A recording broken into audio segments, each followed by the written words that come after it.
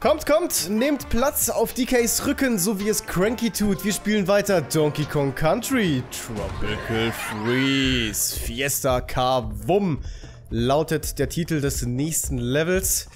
Und da habe ich so ein paar Erinnerungen dran. Ich glaube, das war von der Schwierigkeit her ganz okay. Und stellt tatsächlich mal so eine Art Abwechslung für diese Welt dar.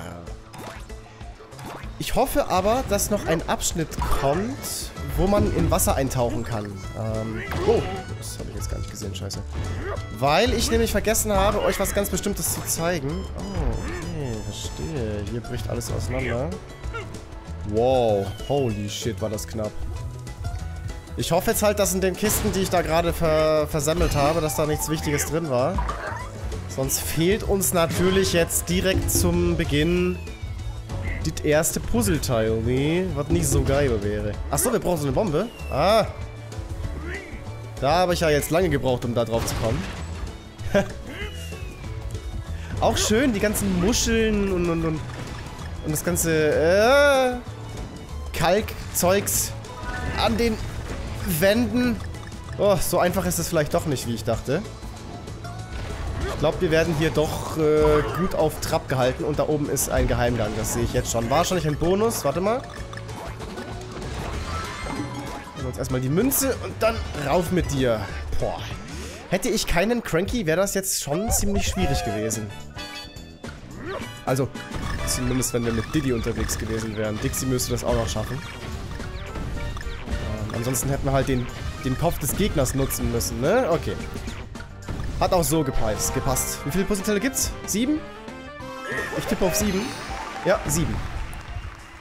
Jo, dann hoffen wir mal stark, dass das wirklich das erste ist, ne? Oh, was ist denn das für eine Apparatur hier? Was soll denn das? Ich verstehe gerade so ein bisschen nachzuvollziehen, warum die Gegner das machen. Wollen die da, äh, Melonen pressen oder was los? Komm, wir nehmen jetzt mal den Diddy. Den habe ich lange nicht mehr richtig benutzt und ich finde, es ist mal wieder an der Zeit. Okay, das Puzzleteil war geschenkt. Nett. Dankeschön. Wie viele Pinguine hier einfach am Start sind. Ah, hier müssen wir kurz warten. Und was sind denn das eigentlich für Tiere, die da die ganze Zeit herumhopsen? Hamster? Weil Hasen sind es keine. Oder? ich kann es nicht so richtig deuten. Auf jeden Fall fiese Viehkinger. Das ist schon mal klar. Und warum ist hier nichts? Jetzt echt? Glaube ich nicht. Gib mal eine Bombe her. Ja, siehste. Die war doch klar. Oh. Das klemmt wohl ein bisschen, ne? Oder soll das so sein? Wie auch immer, ich werde bestimmt nicht zerstampft. Aus mir bekommt ihr auch gar nicht so viel Saft raus, glaub mir. What the hell? okay. Kurz warten, dann weiter. Und das lassen wir mal bleiben, ja? Nicht mit mir. Ah, du Drecksack. Ha, egalisiert. Und next Checkpoint. Oh, ja auch cool, diese, diese, ähm, Tentakelstalaktiten? Ja. Es ist irgendwie dasselbe. Ich kann es mir eigentlich nicht wirklich merken. Es ist immer dasselbe. Oh, hätte ich jetzt das Zeug ansammeln? Hm. Ich hoffe nicht, aber ich glaube, in dem Level werden wir auch irgendwas verpassen und nachholen müssen. Das ist schon ziemlich tricky, hier alles zu bekommen. Oh, man muss auch genau gucken, was sich im Hintergrund abspielt und was im, im Vordergrund ist. Nicht, dass man mal glaubt, irgendwo stehen zu können. Obwohl das nicht geht, weil es im Background zu sehen war. So, und hier will ich jetzt kurz mal verweilen wollen. Nein. Ich habe spekuliert, dass da vielleicht ein Puzzleteil noch kommt, aber nope. Nix. Hier die Münzen einsammeln, meinst du? Meinst du? Hm. Tatsächlich. Okay. Von jetzt nach oben? Zwingend? Oder ist da rechts noch was? Nee, ich glaube, ich gehe nach oben. War eine gute Entscheidung. Okay, danke für die Coins. Nette Spende. Oh, aber das Level habe ich wirklich unterschätzt. Ich dachte, das wäre chilliger. Von wegen. Ich bin hier sehr angespannt. Und das glaube ich auch zu Recht. Gehen wir mal rüber zu Dixie. Dann haben wir in dem Level alle gesehen. Bam. Weg mit dir, du ekliger Sniper. Feige Sau. Puzzleteil? Ja. In Form eines Bonus. Ich finde es schön, dass hier alles so äh, auf, aufeinander abfolgt. Also, du findest ständig irgendwas Relevantes. Das mag ich.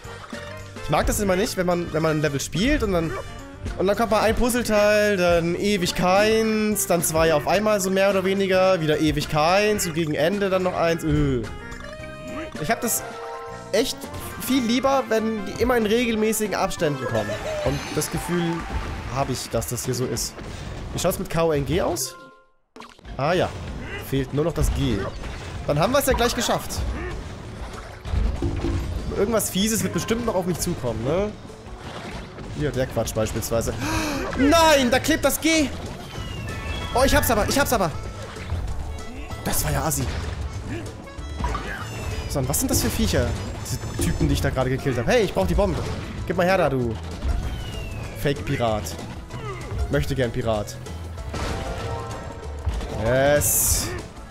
Eins noch. Come on. Schaffst du.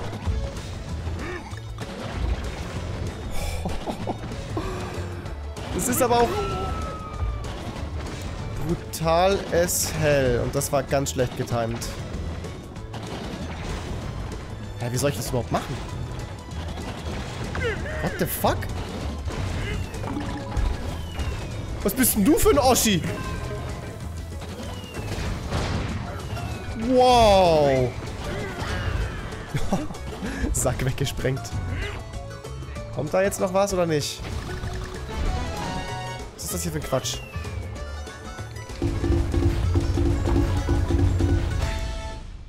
Boah, ich dachte, ich sterbe, ne? Weil ich, ich wollte eigentlich dem seine Bombe auffangen, weil ich mir dachte, okay, vielleicht ist da noch irgendwas, wo ich das Ding dagegen schmeißen muss. Aber nein! Das hätte alles weggesprengt. Das heißt, uns fehlt wirklich eins. Naja, gut. Okay. Aber hat Spaß gemacht. Und es kommt tatsächlich noch ein Level. Ich dachte, es wäre schon Boss-Time, aber nein, noch ist es nicht vorbei.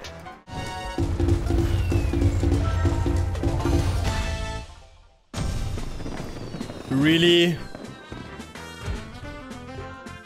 Das ist so lächerlich. Also, ohne Scheiß, das ist eins der lächerlichsten Puzzleteile aller Zeiten von diesem ganzen Game. Äh, es gibt überhaupt keinen Hinweis darauf, dass es sich im letzten Block ganz, oder im vorletzten Block ganz rechts befindet. Ey, oh. Naja, okay. Wie auch immer. Jetzt haben wir's und es geht weiter mit Koralligalli. Oh, Halligalli. Zirkus Halligalli. Läuft ja gar nicht mehr, ne? Weiß gar nicht warum. Lief wohl nicht mehr so, ne? Naja. Fernsehen halt. Was war das denn hier? Worum geht's denn da? Hab grad keine Ahnung. Kommen wir da ins Wasser? Ah, sehr schön. Ja, ich hätte es jetzt halt lieber gehabt, dass wir, äh, wie soll ich sagen, dass der Wasserspiegel näher am Ufer ist. Ich will euch nämlich noch eine Ability zeigen, die man, glaube ich, mit jedem Kong nutzen kann. Aber ja, wenn das jetzt nicht mehr funktioniert mit einem kommenden Level, dann gehe ich halt kurz rein um 4.1 und zeige es euch da. Konzentrieren wir uns jetzt erstmal auf das, was kommt, weil an dieses Level kann ich mich null erinnern. Was ist das denn? Es spielt sich wieder komplett unter Wasser ab. Und wir treffen auf Maschinerie. Einmal mehr. Diesmal vielleicht ein versunkenes U-Boot oder so. Autsch, das tut weh. Ich wäre mal stark dafür, hier alles einzusammeln, auch wenn es sehr schwierig ist. Ja, ja, ja, das wird belohnt. War ja klar. Und jetzt schnell weiter mit dem Turbo. Dixie, ich brauch dich. Stirb mir bloß nicht weg hier. Oder komm, ich hol mal ein paar Herzen hier. Komm. Gegönnt. Oh, oh, wow. Und zack. Und zack. Ich glaube, hier alles einzusammeln macht keinen Sinn, weil die Bananen, äh, wie es scheint, immer wieder kommen. Also das ist ein unendlicher Vorrat. Würde ich jetzt zumindest mal vermuten, deswegen ziehe ich weiter. Und vermeide den Kontakt mit diesem Ungeziefer. Keine Ahnung, was das ist. Vermutlich irgendein Gras, was Verbrennungen hinzufügen kann. Ja, die Unterwasserwelt ist, wie wir alle wissen, ja nicht nur schön, sondern auch sehr gefährlich. So, und jetzt kann ich euch zeigen, was ich meinte. Habt ihr das gesehen? Wir können wie Kiddy Kong in Donkey Kong Country 3 über das Wasser springen oder übers Wasser rollen. Dazu einfach nichts drücken, nur rollen, rollen, rollen und kein A, kein gar nichts. Einfach nur rollen. So, das wollte ich euch noch zeigen. Leider kann man das aber so gut wie nie wirklich ver verwenden in diesem Spiel.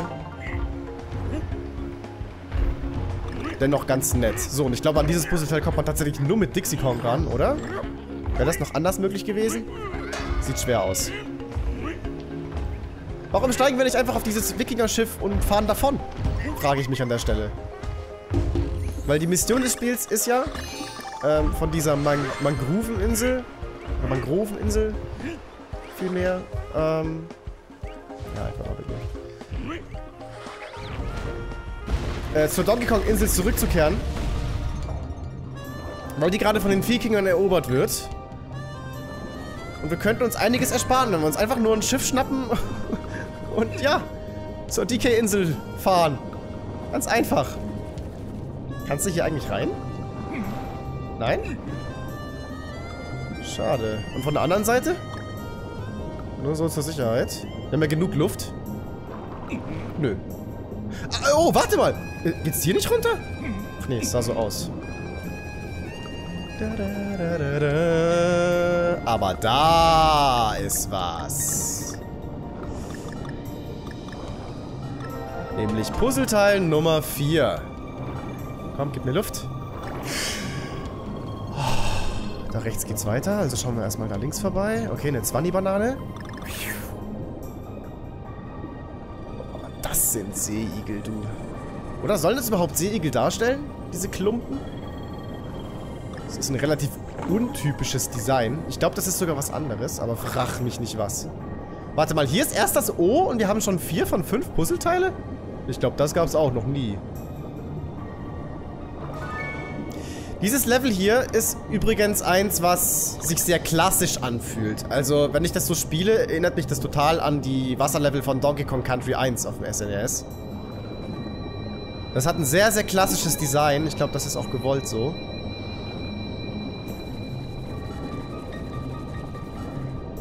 Erst recht mit der Mucke im Hintergrund. Es passt auf alle Fälle. Oh, jetzt haben wir aber Schwierigkeiten mit dem Sauerstoff. Beeilung! Autsch. Sauerstoff. Okay. So, mal gucken. Nichts verpassen hier.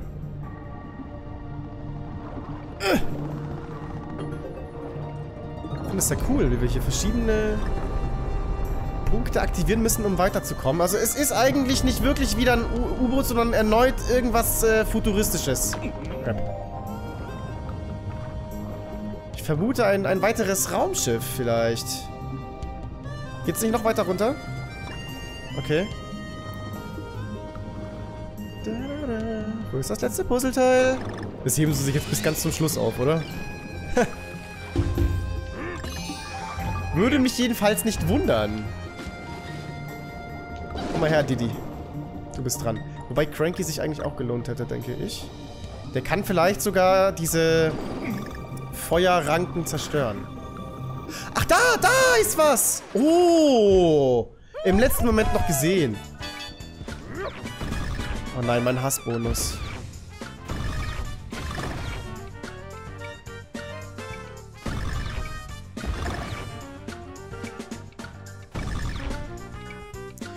Schade, dass die Wasserwelt jetzt ihr Ende findet.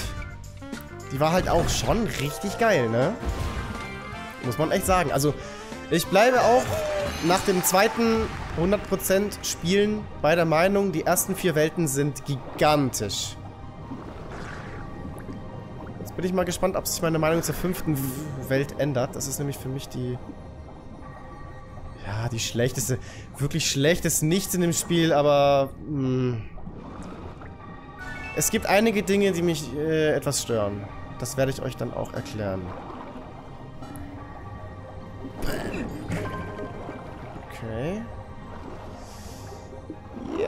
Lass mich durch.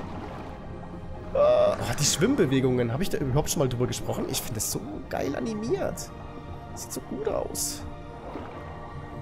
I like that. Was geht denn jetzt ab?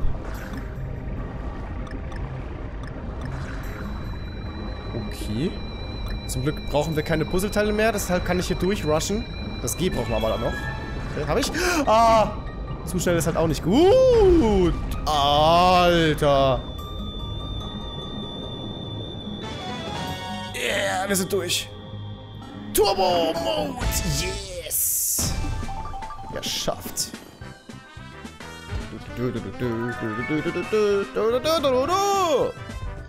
Ja, jetzt haben wir wieder mal die Wahl. Boss oder K-Level.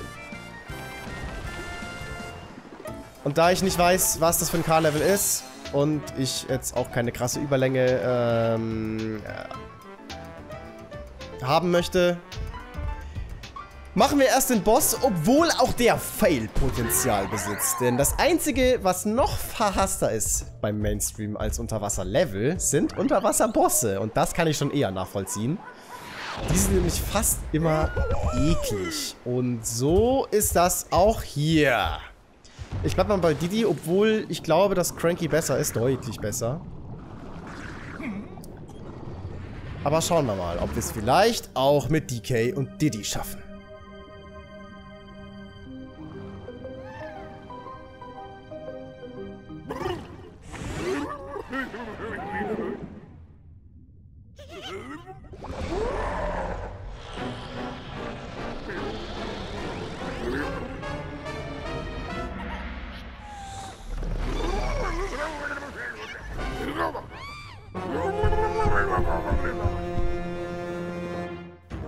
Ein gigantischer Kugelfisch!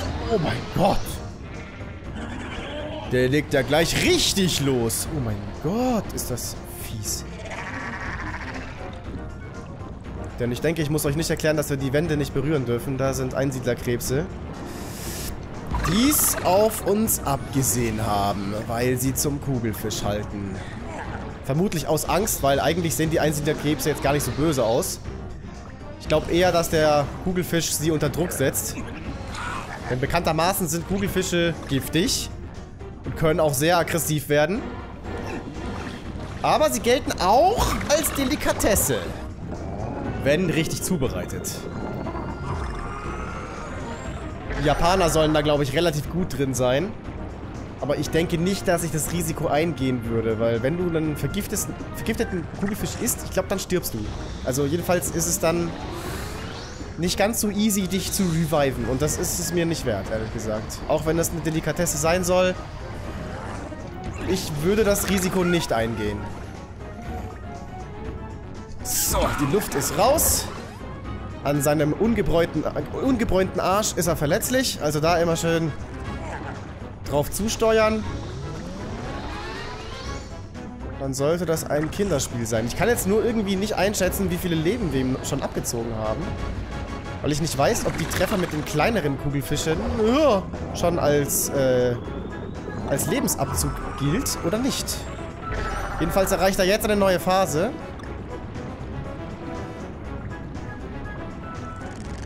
Ich glaube, das ist schon die letzte, oder? Weil er sieht sehr, sehr rötlich aus. Dementsprechend sehr aggressiv. Und bis jetzt machen wir das sehr gut. Kein Gegentreffer. Ich hatte schon so ein bisschen Schiss vor dem Boss, aber es ist noch lange nicht geschafft. Oh ja.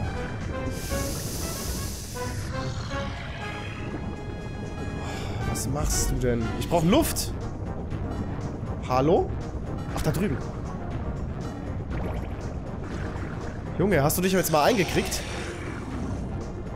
Ganz vorsichtig sein. Didi war vielleicht doch nicht so eine schlechte Entscheidung. Also der Turbo, den wir mit ihm zünden können hier, der ist schon sehr wertvoll. Was nun? Oh! Damn. Gib ihm, gib ihm. Oh, Vorsicht, da löst sich ein bisschen was.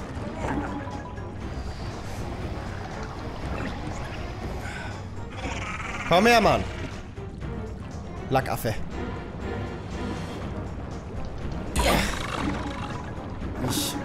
Zieh dir den letzten Saft raus. Und die letzten Stachel. Oh, oh, er hat neue Stachel parat. Jo, ist klar. Und das ist der KO. Wow, no damage. Kann man schon mal ein Like da lassen, oder? Yeah. In der nächsten Folge dann also 4K und die fünfte Welt. Ich bin gespannt, was ihr dazu sagt und wie mein eigenes Empfinden sein wird. Hier schon mal eine kleine Vorschau. Es ist, äh, ja, wie soll ich das überhaupt beschreiben? Also im Großen und Ganzen kann man sagen, es ist sehr viel Fauna, es ist sehr viel Fabrik und Eis.